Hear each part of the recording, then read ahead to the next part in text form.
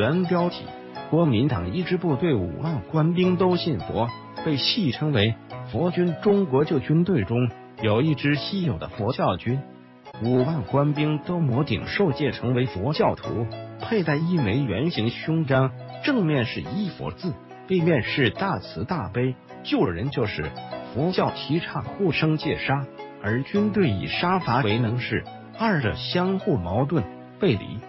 这是民国的一件奇事，奇事的制造者是两位奇人：唐生智与顾法师。唐生智字梦霄，湖南东安县人，一八八九年生。他是将门之后，祖父唐文友曾任广西提督。一九零七年，唐生智毕业于陆军小学，后又进陆军中学，以成绩优秀，保送进保定陆军军官学校。为校长蒋百里所赏识，保定毕业，分配在湖南混成旅当见习军官，在讨伐袁世凯的护法战争中显露才华，由排长、连长逐步升至团长、旅长。在湖南各派混战中，赵恒替一派获胜，属赵派的唐生智升任第四十师长兼湖南善后督办，驻兵衡阳。他招兵买马。大力扩充部队，很快拥有五万人枪，实力遥居湘军之首。他俨然以湖南王自居。一九二三年夏天，有一位僧人直闯唐公馆，向唐生智献计：“你的处境非常危险。”僧人的第一句话使唐生智吃惊：“危险有，一是赵恒惕对你深有戒心，并不完全信任；二是湖南派系众多。”都在谋算你。三是衡阳毗邻广西，新贵系李宗仁、白崇禧虎视眈眈，你随时都有被吞并的危险。这一席话使唐生智动了心，向僧人问字就知道。按我愚见，不如东与吴佩服虚与委蛇，西与新贵系暗中联络，从而养精蓄锐，等待时机，一举而克全乡。这正说到唐生智心坎里，立刻请僧人上座。后来把他留在军中。这位僧人法号净元，姓顾，俗名伯薛，江苏武进人。另有人说他是扬州人，佛教密宗居士。居士就是在家的佛教徒，受过三规五戒的人。顾伯旭信仰佛学，但不赞成自残肌肤的受戒，所以当了居士。护法师被留，与唐生智相见恨晚。唐对他言听计从，尊为老师。不久，唐为他在长沙建造一座二学园，作为顾的讲经谈法之所。顾定期宣讲佛法，唐部文武官员纷纷投拜在顾的门下。唐的五万官兵也都摩顶受戒，成了佛教军。故法师行径反常，佛教徒应清心寡欲。但他拥有六房一太太，最大的不过三十岁，小的不过十七岁。他虽劝人戒杀，但他却并不吃素，每天在家杀鸡。奇怪的是，他只吃鸡鸭内脏，余下的就赏给别人。同时，他又善饮，一次能喝白兰地两大瓶。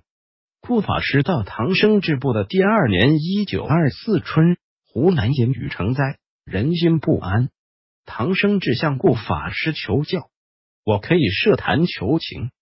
顾法师笑着表示，在衡阳南门外，按顾的指示搭起高台，八名童男童女斋戒沐浴，在连绵阴雨中，顾法师登坛诵经念咒，如此表演一番，也许是巧合。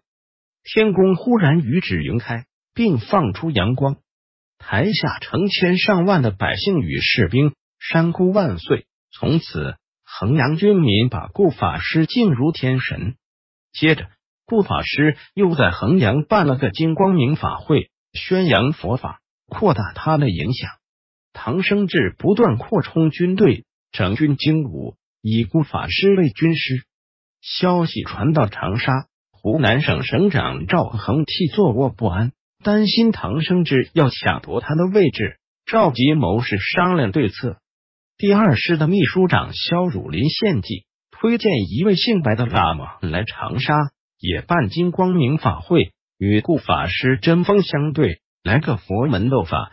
那白喇嘛又称白居人尊者，年五十余岁，出生于青海，身材魁梧，肥头大脸，身穿团花大黄袍。当时正在孙传芳手下当谋士，从南京来长沙，驻长沙北门外开福禅寺，筹备设堂开法会。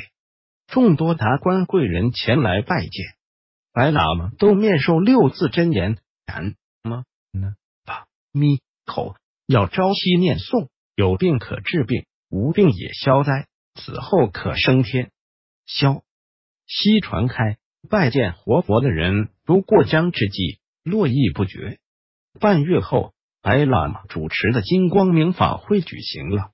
坛上四角有二对童男童女，白喇嘛居中坐定，慧眼童子白喇嘛门徒站立一旁。烧纸后，白喇嘛向上天祈祷，赐福给赵恒惕，降灾于唐生智。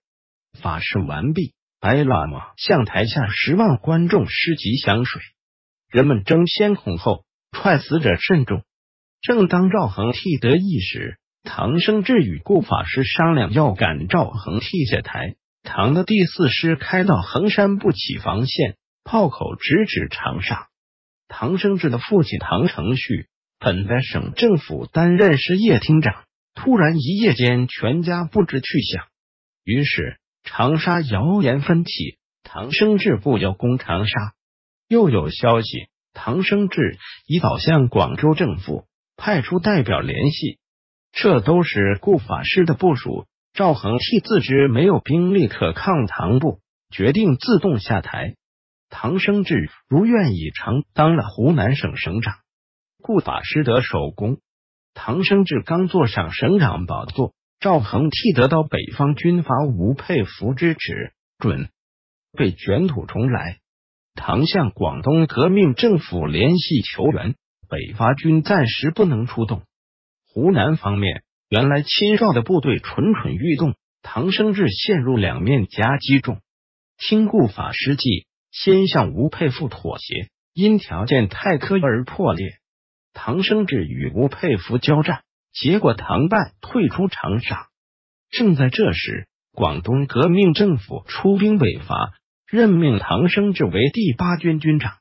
在张发奎、叶挺部打进湖南后，唐生智重回长沙，挂起青天白日旗。从此，唐生智开始了他的纵横捭阖的军事生涯。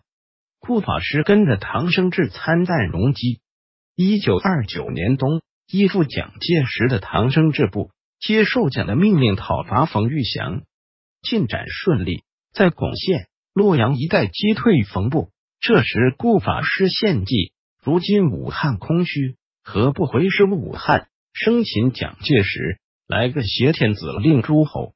唐生智深以为然，与冯玉祥握手言和，自称护党救国军总司令，通电讨蒋。唐部回师郑州，沿平汉线南下，直逼武汉。当时武汉并无重兵，蒋介。使手忙脚乱，如果唐部一鼓作气，蒋就会束手被擒。当时蒋在一辆专列上指挥作战，身边警卫不多，但是乘胜前进的唐部到了雀山驻马店附近停了下来。这是因为顾法师的意见，要等黄道吉日才好开战，同时正逢漫天大雪，用兵不便。哪知蒋介石却利用这机会。分化瓦解唐生智与冯玉祥、阎锡山的联盟。驻守南阳的原来拥唐讨蒋的杨虎城任警备司令，在铺天盖地的大雪中偷袭唐生智的指挥部。这时，唐生智与顾法师正在围炉赏雪。闻变后，唐顾两人从乱军中逃出。一九三七年十一月，在日军兵临南京城下时。蒋介石命唐生智担当守卫首都重任。顾法师与唐生智到栖霞寺求签预测吉凶，签语是仙鹤出笼，凡是先凶后吉。顾解释签语，您从此可以摆脱蒋介石，飞上九重天了。结果唐丢失南京，国人纷纷要求杀唐生智以谢天下。抗战期间一直未起，用唐顾法师也不知所终。一九三七年十一月十一日，蒋介石第二次召集国军将领商讨保卫南京的问题。在会上，几乎所有其他将领都认为不应死守南京。这时，唐生智站出来激昂的说：“南京是我国首都，是国际观瞻所系，又是总理陵墓所在。如果弃守，何以对总理在天之灵？”一九三七年十一月十七日，蒋介石第三次召集各路将领商讨保卫南京的问题。蒋说：“南京是我国首都，总理陵墓所在，必须要守。”然后他问在座各位：“谁愿意负起防守南京的责任？”然而，其他将领都默语不言，唯有唐生智站起来，慷慨激昂的说：“抗战以来。”我们中下级干部在战场上牺牲的很多，但还没有一个高级将领为国捐躯。我愿意防守南京，是与首都共存亡。于是，蒋介石就任命唐生智为南京卫戍司令长官。一九三七年十一月二十日，唐生智正式就任南京卫戍司令长官。在唐生智的指挥下，国军八万余人。自一九三七年十二月四日至十二日，抗击数倍于己的日军，进行了悲壮的南京保卫战。一九三七年十二月十三日，南京陷落。唐生智没有履行自己与首都共存亡的誓言，于一九三七年十二月十二日晚乘船逃离南京，丢下几十万中国军民在震惊世界的南京大屠杀中。惨遭日军屠杀，唐生智当时主动请战的原因是什么？从他后来临阵脱逃的表现来看，根本不可能是真正的出于爱国激愤。一般的史学家认为，主要是唐生智不甘寂寞，出于公民心。当时，唐生智只是一个没有实权的训练总监，不受重用，想以此来重振旗鼓，恢复军权。据传闻。唐生智主动请战，指挥南京保卫战，其实是他听信了术士顾子同的劝告。顾子同告诉唐生智，唐的前生是金陵王，和当坐镇南京？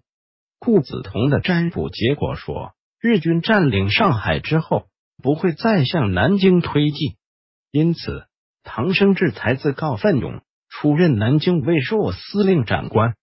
这其中的如意算盘。